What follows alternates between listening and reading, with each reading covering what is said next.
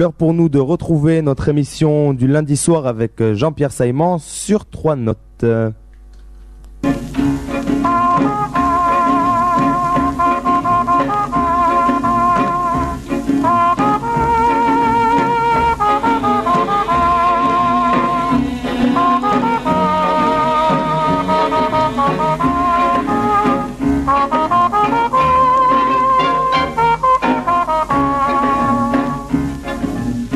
Je te chante une belle chanson, mais je ne connais pas la musique. Je peux, si tu le veux, prendre quelques leçons et suivre les concerts symphoniques. Mais je trouve ça bien inutile, fatigant et difficile. Alors, si tu veux m'écouter, je vais faire un effort et je vais chanter sur deux notes. Je vais dire je t'aime Bonsoir à tous, c'est sur trois notes, votre émission du lundi consacrée à la musique dans notre région. Au micro, votre serviteur Jean-Pierre Saillement, qui ce soir reçoit Claude Petit-Berguin, mais auparavant Mireille Gaetti, présidente de l'association Nicéar, Daniel Grégory, et puis il y aura également Déborah Bellevie et Claude Castel, tout ce beau monde réuni dans l'opérette d'Henri Christinet, Fifi, qui sera donnée euh, dans l'auditorium du Mamac dimanche prochain, ce sera le 25. Le 25, le 25 avril. Alors nous allons auparavant faire, euh, comme nous le faisons chaque, euh, chaque lundi, comme j'ai l'habitude de le faire, une petite sélection des concerts et des représentations euh, données dans la région. Alors à Cannes, demain, c'est le 20 avril à 20h30 au Palais des Festivals, théâtre de Bussy, la célèbre pièce d'Edmond Rostand, Cyrano de Bergerac, dans une mise en scène de Pinot Micole, avec euh, Pierre Santini, Magali House, Benoît Dupac, Éric Desfossés, Alain Choquet et Jean-Paul Audrin. Il paraît que c'est une, une production tout à fait intéressante, cette, euh, ce Cyrano de Bergerac. Et justement, l'un de mes invités a eu l'occasion, dernièrement, lors d'un dimanche euh, organisé par Nicéar, de nous gratifier de cette, cette célèbre ode au nez, la, tirade. du nez de Cyrano Bergerac. Alors je vais lui demander de nous, de nous, rappeler les, premiers vers, tout au moins. Oui, si vous le voulez. il s'agit de Claude Petit-Berguin. Euh, c'est tout? Ah non, c'est un peu court, jeune homme. On pouvait dire au Dieu bien des choses en somme en variant le ton. Par exemple, tenez, agressif. Moi, monsieur, si j'avais un tel nez, il faudrait sur le champ que je me l'amputasse. Amical, mais il doit tremper dans votre tasse. Pour boire, faites-vous fabriquer un nappe. Descriptif, c'est un roc, c'est un pic, c'est un cap. Que dis-je, c'est un cap? C'est une péninsule. Curieux, de quoi sert cette oblongue capsule D'écritoire, monsieur, ou de boîte à ciseaux? Gracieux, aimez-vous à ce point les oiseaux? Que paternellement vous vous préoccupâtes de tendre ce perchoir à leurs petites pattes voilà très très bien Claude Petit-Berguien. Je pense que vous valez tous les, tous les grands acteurs qui se sont succédés dans, dans ce rôle de Cyrano de Bergerac qui sera joué demain soir à, à Cannes par euh, Pierre Santini. Bravo Pierre euh, Claude Petit-Berguien. Je rappelle que vous êtes d'ailleurs l'un des interprètes de Fifi euh, qui sera donné dimanche prochain à l'auditorium du Mamac et organisé par Nicéar. Et puis, deuxième partie de l'émission consacrée intégralement à Nicéar et à son dimanche lyrique, consacré cette semaine en grande partie à Fifi. Mais auparavant, Mireille Gaetti, bonsoir. Bonsoir. Vous êtes, euh, je rappelle, président de Nicéar, une association qui est très prisée de nos auditeurs. Vous avez euh, élaboré un programme dimanche prochain qui prévoit deux parties. Oui, d'abord euh, Fifi, puisqu'on en parle, disons, nous, j'ai tenu absolument à présenter cette opérette d'Henri Christinet, qui est un petit peu oubliée, mais qui sera très appréciée par le public, je suppose. Et puis une première partie, euh, légère aussi, j'ai demandé aux interprètes de ne pas trop chanter de, grands airs d'opéra pour que ça fasse toute une, tout un un dimanche de légèreté, de gaieté, de etc. Alors, vous allez nous donner le nom des, participants et participantes à cette première partie, de très belles voix qui ont eu déjà l'occasion de se faire entendre de votre public. Vous allez nous, rappeler qui sont ces, chanteurs et chanteuses qui seront sur la scène de, de la salle Jean-Étienne Marie. D'accord. Alors, il y aura en première partie Anouchka Pejovic, bien connue de Nicéa, Nancy Di Giovanni, qui commence à se faire connaître. Ah, c'est une très belle voix, je sais, j'ai eu l'occasion de l'écouter. Toutes les deux, ce sont des voix. Célia Zambon, qui elle aussi est une débutante et qui a envie d'affronter les, les, les, les, les feux de la rampe. Mauro de la Giustina, qui est très bien connu de tous les auditeurs de Nicéa. Et un nouveau venu à Nicéa, c'est Elio Ferretti, un ténor qui a une très très jolie voix. Alors l'avantage d'aller aux, aux, représentations euh, que vous proposez, c'est qu'on découvre toujours de, de, de, jeunes talents. Vous êtes, vous êtes, vous êtes toujours à la, à la recherche euh, de, de, voix nouvelles, en quelque tout le sorte. Temps, tout le temps. Et vous, vous réussissez à, à en trouver eh bien, écoutez, disons comme ça, que j'ai peut-être de la chance. Alors, donc, euh, cette première partie sera suivie de ce qui est très attendu, c'est-à-dire ce qui n'a pas été donné depuis fort longtemps à Nice, Fifi. C'est une opérette d'un Niçois, car il a, il a fini ses jours à Nice. Henri Christinet. Il, il, était né à, à Genève en, en, 1867 et il mourut à Nice en, en 1941. Et, la ville l'a honoré puisqu'un square euh, porte son nom dans le quartier Grosso Gambetta. Oui, il a beaucoup vécu à Nice. Alors, Fifi, c'est qu'est-ce qui vous a donné l'idée de, de, de, de, rejouer Fifi? Eh bien, c'est parce que je l'ai vu, moi, dans ma jeunesse, et que j'avais beaucoup apprécié cette opérette Fifi, parce que c'est quelque chose de, tellement pétillant, de tellement, euh, je ne sais pas comment dire, mais très attractif et j'ai eu envie de le remonter. Alors la mise en scène est de Pierre Capel, qui est un metteur en scène, un jeune metteur en scène euh, au service de votre association et qui a déjà triomphé l'année dernière dans, dans, les Mousquetaires au couvent, il faut le rappeler. Oui. Et comment comment a-t-il euh, travaillé pour cette euh, cette opérette? Ah ben comment a-t-il travaillé? Il a travaillé beaucoup, ça c'est certain. comme tous les metteurs en scène, en reprenant avec des répétitions, des répétitions et encore des répétitions et beaucoup de travail. Ça sera une large sélection. Je veux seulement souligner ce soir que ce sera un très beau spectacle. D'abord aussi par l'interprétation des artistes qui sont tous très bien. La mise en scène de Pierre Capel que vous venez de dire, les décors signés de Daniel Grégory. Que j'interrogerai dans un moment. Voilà. Et je veux dire aussi que Fifi est un petit chef-d'œuvre au rythme endiablé, pétillant d'humour cocasse, de libertinage et de beaucoup de drôlerie. Et je, vous, je, voulais aussi signaler que cette matinée aura lieu en présence de maître André Chauvet, adjoint au maire, délégué à la musique, que je remercie vivement d'être avec nous ce jour-là. Alors, Fifi, pour nous raconter l'histoire, Daniel Grégory, qui est un conteur hors pair, car il est non seulement euh, présentateur, régisseur, décorateur, et ce soir je vais le mettre un peu euh, euh, au, travail, et il va nous raconter l'histoire de Fifi. Alors Fifi. Oui, bonsoir. Bonsoir Daniel. Eh bien Fifi, Fifi, euh, il faut rappeler que Fifi a été créé très exactement le 12 novembre 1918, c'est-à-dire le lendemain de l'armistice de la guerre, et c'était dans un état de liesse évidemment extraordinaire. Et le livret est bien sûr euh, est très enlevé, euh, très imaginatif, et donc ça donne lieu à des scènes tout à fait cocasses et des, des, des airs euh, endiablés qui, qui, ont emballé le public littéralement à cette époque-là, bien sûr, et qui continuent puisque euh, je crois que Fifi a été donné de par le monde plus de 40 millions de fois. C'est un chiffre qui n'est peut-être pas été égalée. Euh, c'est une des opérettes peu. les plus populaires de, du répertoire. Oui, oui, très peu de gens le savent, mais elle a été traduite en 17 langues. Alors, on ne comprend pas pourquoi cette opérette est, subitement euh, a été retirée du, du répertoire des, des, des, des opéras euh, dans, dans, notre région. Car c'est vrai que les, les, les opérettes euh, ne sont je, pas beaucoup jouées. Je crois que c'est l'opérette en général, en général, qui a subi un petit peu une éclipse, le, le, une éclipse considérée un peu comme un genre mineur. Et Dieu sait que ça ne l'est pas, puisque mmh. cela demande même encore plus de talent, je pense, que l'opéra, hormis les voix, bien sûr.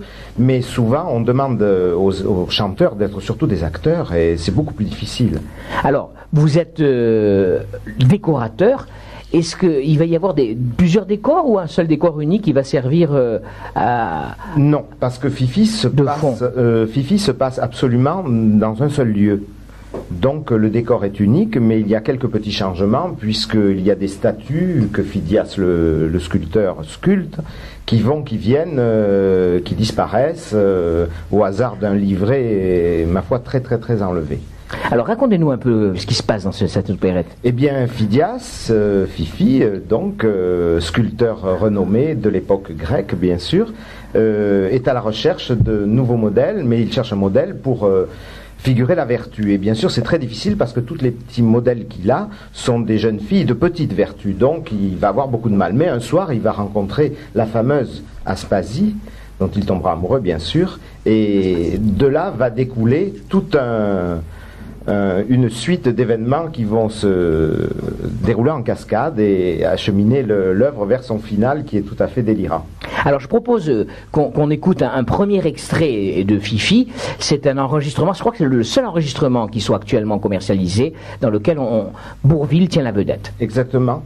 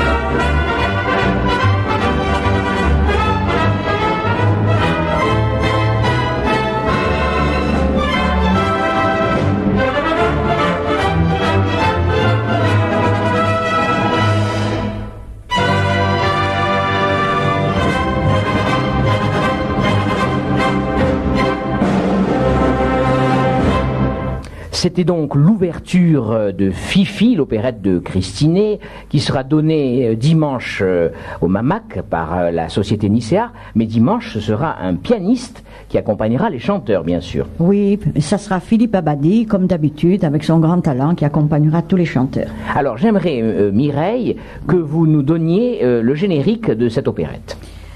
Alors, Phidias, dit Fifi, sera Claude Petitberguien. Hardimédon, le prince Hardimédon, sera Jean-Michel Arignon. Le Pirée, qui suit Fifi partout, sera Claude Castel. Et Périclès, qui est le ministre qui vient acheter des, statues à, Fifi, sera Daniel Bilouz. Déborah Bellevie sera Madame Phidias, la belle Madame Phidias. Régine Capel sera Aspasie, la petite maline, la petite coquine. Et il y aura les modèles Marie Bada, Mara, pardon, Marie Barra, Corinne Blanc, Marie-Flore Pelage et Célia Zambon. Voilà donc euh, de quoi allécher l'auditeur avec tous ces noms de, jolies femmes. Alors, euh, je vais commencer par euh, interviewer celui qui, joue le rôle titre. C'est Claude Petitberguien que nous avons écouté tout à l'heure dans, la tirade du nez de, Cyrano de Bergerac. De Cyrano de Bergerac à, Fifi, il y, a, un monde un monde de, différent d'ailleurs. Vous passez du XVIIIe siècle à la Grèce antique avec beaucoup de facilité, mon cher Claude Petitberguien. Oh, c'est simplement un problème. Il faut apprendre le rôle et essayer de rentrer dans le personnage. Euh, Fifi, ce pauvre Fifi, d'ailleurs, il est tiraillé de partout dans cette euh, brave opérette. Il a une femme qui est charmante, mais euh, qui petit à petit va se laisser aller dans les bras du prince Hardimédon dont le nom est tout une, un programme. Et euh, Fifi lui-même, d'ailleurs, est assez léger, puisque son modèle qu'il vient de trouver à Spasie, cette jeune vierge, dit-on, euh, va tomber dans ses bras. Et il va y avoir un tas de quiproquos, il est tiraillé de droite et de gauche, et il faut dire qu'il n'est pas très aidé par son valet, le Piré, hein, qui est un joueur invétéré. Il adore les courses, il va vendre mes statues, monsieur. Est-ce que vous vous rendez compte hein? Enfin, tout va s'arranger, tout va bien se terminer. Et euh, ma chère Aspasie, euh, parce que je finis par l'aimer quand même, va de son côté épouser le Premier ministre Périclès, ce qui n'empêchera pas d'ailleurs de continuer d'être très amical avec Fifi. Alors, Claude Petitberguien, je voulais vous demander, euh, c'est avec beaucoup de facilité que vous jouez différents rôles dans, différentes sociétés. Et vous êtes professionnel véritablement ou est-ce que c'est pour vous un violon d'ingre ou plus même? C'est un grand violon d'ingre. bon, j'ai fait le conservatoire quand j'étais jeune, c'est-à-dire il y a quand même quelques années. Hein. Et puis bon, et puis j'adore ça. Ensuite, j'ai fait une carrière professionnelle qui n'avait rien à voir avec le théâtre. Et euh, à la retraite, euh, comme c'était mon vice et mon violon d'ingre, eh bien je m'y suis remis. Et je suis à la disposition de Nicéar chaque fois que Nicéar aura Merci. besoin de moi. Merci Alors, beaucoup. je rappelle que vous fûtes euh, l'abbé Briden dans les, les, Mousquetaires au couvent. C'est vrai. Et que vous avez été fort applaudi, que la dernière fois, euh, comme on l'a entendu tout à l'heure, vous, vous, vous, avez évoqué euh, Cyrano de Bergerac avec euh, la, la, la, tirade du nez. Oui. vous avez d'autres projets à, Oh mon Dieu, des projets, il y en a toujours, mais enfin, bon, bien, il faut attendre qu'ils se réalisent. Alors nous allons maintenant, euh, si vous le voulez bien, car euh, l'émission est éminemment musicale, je le rappelle, écouter un, extrait, un autre extrait de Fifi, et tous ces extraits ont été choisis par notre ami Daniel Grégory.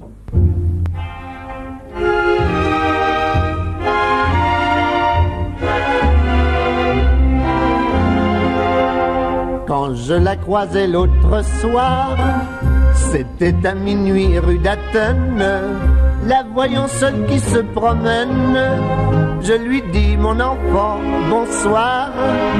J'ajoutais à cette heure indue, que faites-vous donc dans la rue? Naïvement et sans savoir, elle dit je fais le trottoir. C'est une gamine charmante, charmante, charmante, qui possède une âme innocente, innocente.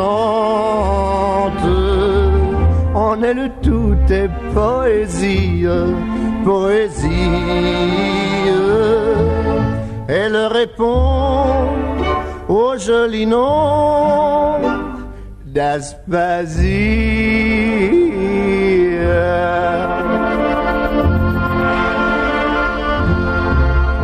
devant la blancheur et l'éclat de son cou plus blanc que l'albâtre. Je lui dis quel coup de théâtre, quel coup du ciel, quel coup d'état. Oh, fit-elle d'un petit air honnête, vous ne connaissez que mon coup de tête, mais vous serez chippé, je le crains, quand vous connaîtrez mon coup de rein. Oh, c'est une gamine charmante, charmante, charmante, qui possède une âme innocente, innocente. En elle tout est poésie, poésie. Elle répond au joli nom Là,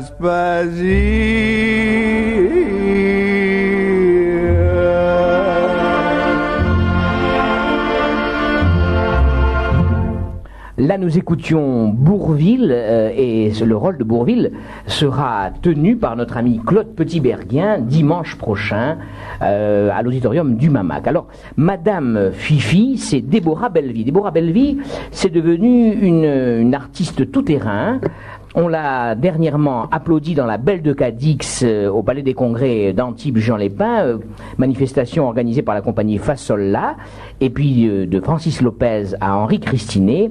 Elle chante tous les rôles. Déborah Bellevie, vous avez pris du plaisir à, à interpréter ce, rôle de Madame Fifi Bien, tout d'abord, bonsoir. Oui, j'ai pris énormément de plaisir à travailler ce rôle parce que c'est un rôle qui est très passionnant.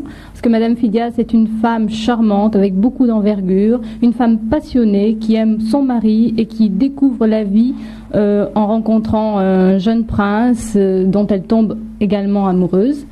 Et j'ai vraiment eu beaucoup de plaisir parce que la partie chantée très agréable et la partie parlée a du caractère. Et je suis ravie de faire ce rôle pour la compagnie Nicéar, qui est une compagnie euh, très agréable avec laquelle on, on travaille avec beaucoup de plaisir. Alors, euh, est-ce que c'est un rôle plus difficile que celui de la Belle de Cadix? C'est un rôle totalement différent. La Belle de Cadix, c'est une jeune fille espagnole qui, mm, qui a du charme, qui a du caractère également, mais qui est quand même plus ingénue, qui est un peu plus, qui découvre la vie. Madame Fidia, c'est une femme déjà. Une femme déjà mûre. Oui, une femme déjà mûre qui connaît la vie.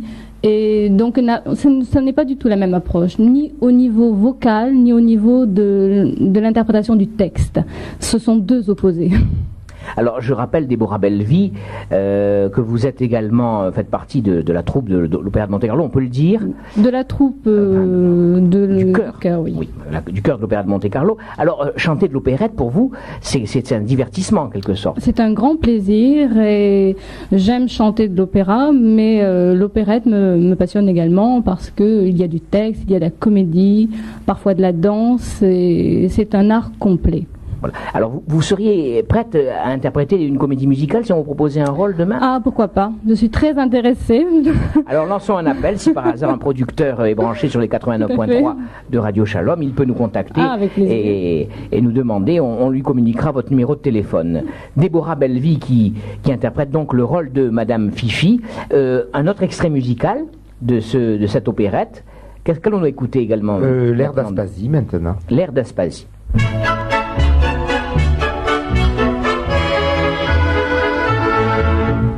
Connais toutes les historiettes, le chaperon rouge, la bobinette, la chevillette qui chéra, qui chéra dans les bégonias, et certains loups qui se déguisent adroitement sous une chemise, puis qui soudain le scélérat, etc., etc.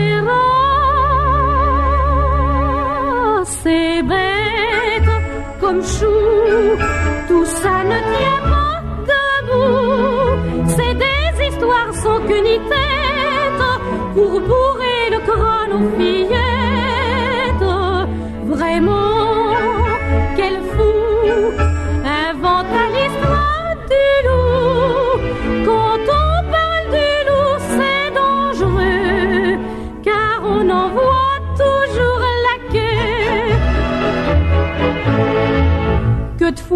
Si j'ai pu entendre l'histoire des pigeons au cœur tendre, dont l'un s'ennuyait au logis, si bien qu'un jour il est parti. Histoire qui ne se serait pas produite si la pigeonne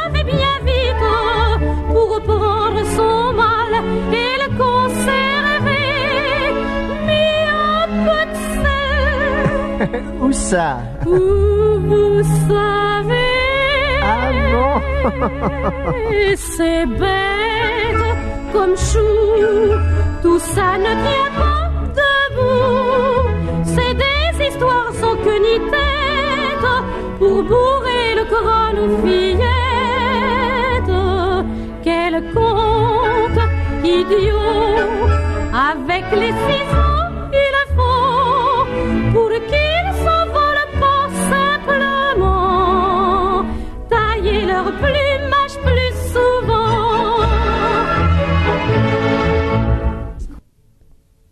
Encore un, extrait de Fifi, Fifi dont j'ai la chance d'avoir trois des interprètes dans, ce studio ce soir, c'est-à-dire Claude Petit-Berguin qui, interprète le rôle titre, Madame Fifi Déborah Belleville que vous venez d'entendre, dans l'interview bien sûr, et puis le troisième interprète qui dans la vie est le mari de Déborah Belleville, mais qui la sert sur la scène, il s'agit de Claude Castel. Claude Castel, lui également, est- a, a- a beaucoup été applaudi ces derniers jours, car il s'est produit au palais, au palais des Congrès d'Antibes Jean Lépin. Il, il jouait le, le- le rôle principal dans La Belle de Cadix. Bonsoir Claude Castel. Bonsoir. Alors vous étiez là il y a quelques jours, il y a quelques semaines. Oui, tout Hein, à vous, fait. vous vous souvenez, vous nous aviez parlé de, de la Belle de Cadix, Oui. et ce soir, euh, vous revenez car euh, vous faites partie donc de la distribution de, de Fifi. Alors, vous jouez quel rôle dans Eh dans bien, je joue donc le rôle du Pirée, euh, qui est le rôle du valet de Monsieur Fidias et de Madame. D'ailleurs, on ne devrait jamais jouer avec sa femme, parce que depuis une semaine, elle a pris le rôle au sérieux, et je porte les sacs. Mais vous, vous avez un, un nom de port d'ailleurs, port P-O-R-T. Hein oui, oui, mais d'ailleurs, dans la pièce, euh, j'ai une scène où je dis au public, je suis un porc, je suis un porc, P-O-R-T bien sûr, et je suis à sec. Alors, c'est tout à fait différent de, du, personnage de, la Belle de Cadix. Vous, étiez un, un jeune premier, euh, euh, courtisé par les dames et, et un genre de playboy en quelque sorte. Tout à fait, mais c'est très intéressant parce que ce rôle euh, a une participation chantée euh, très brève puisque euh, on ne participe en fait qu'au final. C'est surtout un rôle de comédie, un rôle de texte et de composition et qui est très intéressant. Et quand Madame Gaetti m'a appelé pour pour m'en parler, j'ai dit tout de suite oui parce que je- j'estime qu'il faut toucher à tout, il faut tous les rôles sont intéressants et d'un premier plan on passe à un deuxième ou troisième plan, mais tout travail est intéressant et apporte quelque chose. Bravo. Alors, j'aimerais quand même qu'on dise deux mots des costumes. Je crois qu'on on va être gâtés. Les costumes, euh, c'est important dans, dans un spectacle pareil. Euh, ce sont des. Daniel, vous, vous n'êtes pas euh, concerné véritablement, vous n'êtes pas le costumier du, Ah du non, pas du spectacle, mais étant donné que vous, vous êtes le décorateur, vous avez quand même une idée de ce, que vont porter les, les, les chanteurs dans, dans, dans, Oui, dans bien sûr, bien sûr. Et bien, de toute façon, ça se passe dans la Grèce antique, donc vous devinez aisément que les costumes seront grecs, comme les décors d'ailleurs, mais d'un grec, euh, je dirais, euh, légèrement rose bonbon. Parce que l'opérette est très enlevée, euh, même un petit peu paillarde, et donc il faut donner une note très gaie et très prime sautière. Donc le, public appréciera dimanche pour cette représentation dont, je rappelle que, Nicé, dont- que Nicéar en est le maître d'œuvre. On va encore écouter un extrait de Fifi. Euh, où tout le monde chante euh, à l'arrivée d'Ardimédon, le prince Ardimédon qui se fait passer pour un modèle pour pouvoir poser l'amour et il va tomber bien sûr amoureux de Madame Phidias. Hélas, faut-il sitôt que mon bonheur se perde? Aspasie est outré et m'a répondu non. Mais j'avoue que ce non paraissait avoir l'air de venir du fond du cœur et ne sentait pas bon. Ne vous en faites pas, Mais quel est ce jeune homme Voilà, monsieur vient comme euh, modèle. Ah, je m'explique. Dans ce cas-là, jeune homme, ôtez votre tunique. Que dit-il? Il vous dit simplement de quitter votre vêtement pour admirer votre plastique. Pour voir ma plastique assurément, ça c'est charmant. Je vais ôter mon vêtement. Venez, mesdemoiselles, voir un nouveau modèle,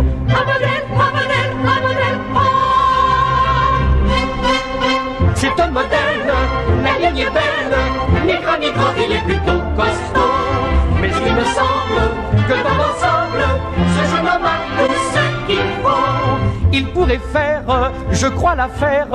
Il est charmant, tu as sûrement raison. Je suis mes belles, le nouveau modèle, dernier cri de la saison. Est-ce pour poser un lutteur Nul besoin d'artifice. J'ai des membres à la hauteur. Lequel faut-il que je rédise? Oh non, je cherche un modèle pour une chose moins ordinaire. Si je vous pense, c'est pour faire Quoi Faire? Quoi? Faire l'amour Faire l'amour,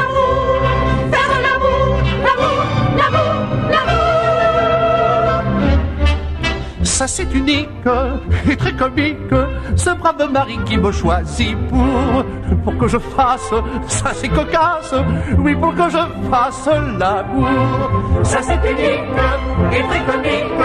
Ce brave mari qui le choisit pour. Mais quand j'y fasse, ça c'est cocasse. Oui, quand j'y fasse,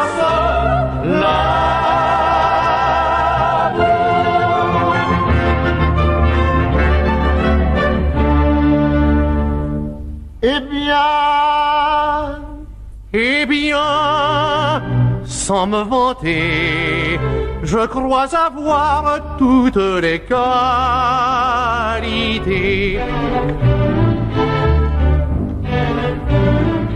Sans le la pose, je vous déclare que j'ai pratiqué déjà toutes les poses que l'on connaît à ce sujet. Et je crois pouvoir dire, chacun sa prétention, que toutes les fois je m'en tire en donnant pleine satisfaction. Pour l'amour, pour l'amour, je me crois des dispositions. À Citer, j'ai pris des leçons. Je suis même allé à Singapour. Pour l'amour, pour l'amour, je me sens tellement en effet fait. Pour vous plaire, je veux bien faire nuit et jour l'amour. La chose très délicate, c'est d'attraper le mouvement. En quatre temps, moi je me flatte de bien le prendre immédiatement. Et quelle que soit la tâche, une fois que j'y suis, soyez sûr que jamais je ne lâche le travail que j'ai entrepris. Pour l'amour, je me prends des dispositions. À ces j'ai pris des leçons. Je suis même allé à Singapour. Pour l'amour, pour l'amour, je me sens tellement en effet. Fait pour vous plaire, je veux bien faire nuit et jour l'amour. maintenant dites-moi, jeune homme, quel est votre nom? C'est l'habitude de la maison. Cher monsieur, je me nomme simplement Hardy Médon. Hardy Médon,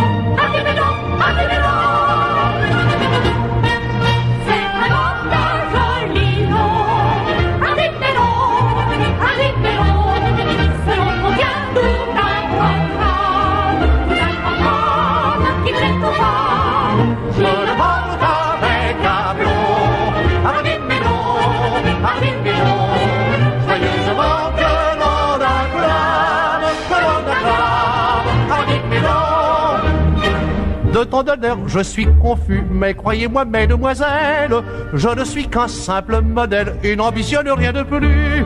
Tant mieux, je crois qu'il est modeste, je le paierai meilleur marché. C'est parmi nous qu'il reste. On va le déposer, on l'amusera, on le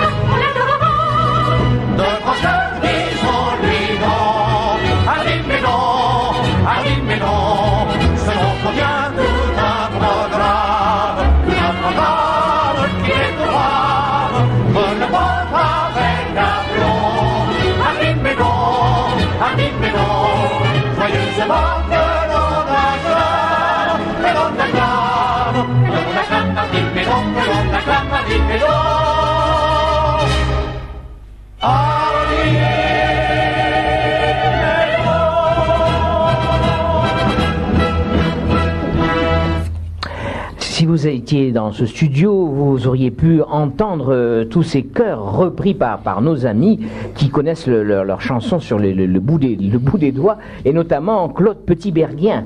Vous allez, vous allez prendre un, plaisir immense à, interpréter ce rôle de Fifi. Ah oui, ah ben ça, il n'y a aucun problème. C'est un rôle très amusant, euh, drôle, spirituel, euh, plein de, de petits choses trappes, euh, un peu grivois d'ailleurs sur les bords, mais toujours avec beaucoup de gentillesse. Et puis la, la- la mise en scène de Claude Capel, il y a, il y a des trouvailles, il y a- Ah oui, il y a énorme- énormément de trouvailles, énormément de trouvailles. Il nous a menés de façon de maître euh, dans cette opérette. Euh, Vraiment, il y a de très très belles choses qu'il a trouvées et qu'il nous a fait euh, interpréter le mieux possible d'ailleurs. Non, il faut reconnaître que tout ça est fait sous l'égide de, Nicéard, de Madame Mireille Gaetti, qui est quand même une référence. hein. C'est, c'est quand même, euh, j'allais dire, le, le haut du pavé de Nice. Alors, de la région. De la région, oui. Mireille Gaetti, euh, pour les auditeurs qui veulent euh, venir euh, assister à ce spectacle, comment peuvent-ils faire? Ils peuvent réserver par téléphone? Ils peuvent réserver par téléphone au 04 93 88 65 97. Donc je répète ce numéro de téléphone où vous pouvez toucher euh, la responsable de Nicéar pour réserver euh, vos places pour dimanche prochain 04 93 88 65 97. Et puis euh, l'ouverture de la caisse se fait sur, le, sur les lieux mêmes du spectacle une heure avant? Oui, à 2 heures. À 14 heures. Et le prix des places est fixé? 70 francs. Donc vous n'avez pas augmenté, c'est toujours la même chose. Vous, vous Toujours êtes pour la, stabilité des prix. Pour le moment. Voilà, c'est- beau parce que ce- c'est un prix, c'est une somme modique pour assister à un spectacle qui vous fera euh, évader de tous vos soucis quotidiens et l'op- et l'opérette est, est faite pour ça. Voilà, alors on va co- continuer et aller jusqu'à la fin de cette émission en écoutant un autre extrait de Fifi. Oui, l'air de, le premier air de Madame Phidias.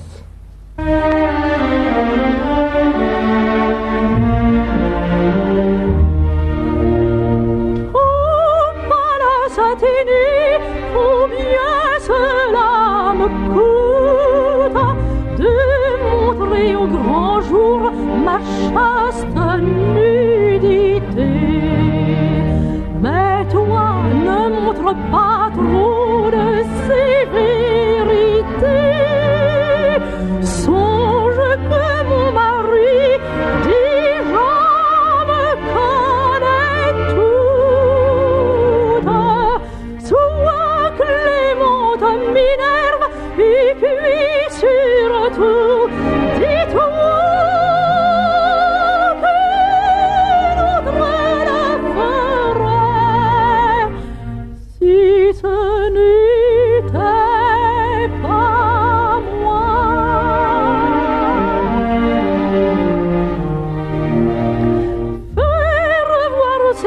seins, cela je le concède.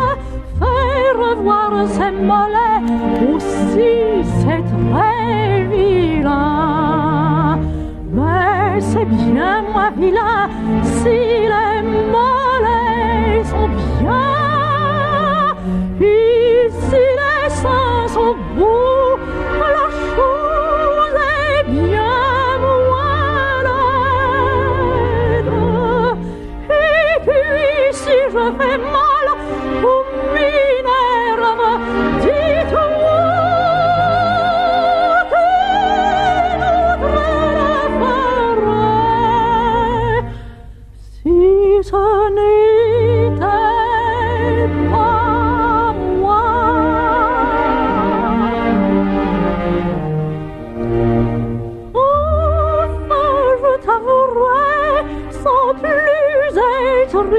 Hypocrite, s'il est vrai qu'une femme au corps jeune et bien fait, sur mon mari produit toujours certains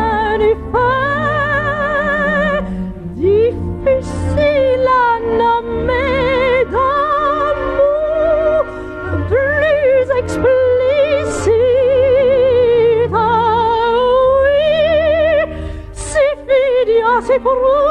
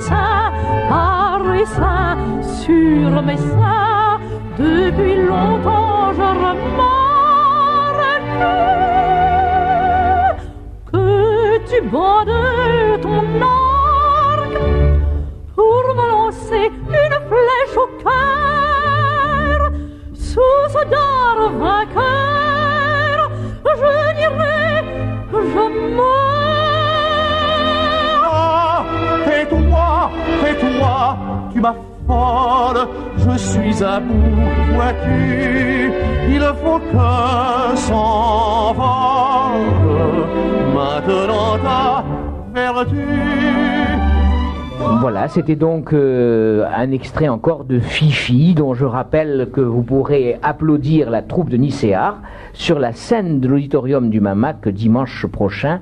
Le spectacle commencera à 15h. Nous allons maintenant prendre congé de tous nos amis, Mireille Gaetti, Daniel Grégory, Claude Petit-Berguien, Déborah Bellevie, qui sont tous les deux euh, à l'affiche de, cette opérette, et puis Claude Castel, Claude Castel qui va quand même conclure. Eh bien, conclure en disant évidemment que Madame Gaetti toujours présente des spectacles de qualité et surtout répétés et avec un respect des artistes et de son public. C'est tout ce que j'avais à rajouter. Ben, mon cher Claude, mon cher Claude, vous savez que si je l'invite euh, assez régulièrement à cette émission, c'est que j'en suis au- à, la, au même, à la même conclusion que vous. C'est que je trouve que la société Nicéar est une société euh, qui se classe à un niveau véritablement professionnel quant aux, aux spectacles qui sont proposés. Voilà.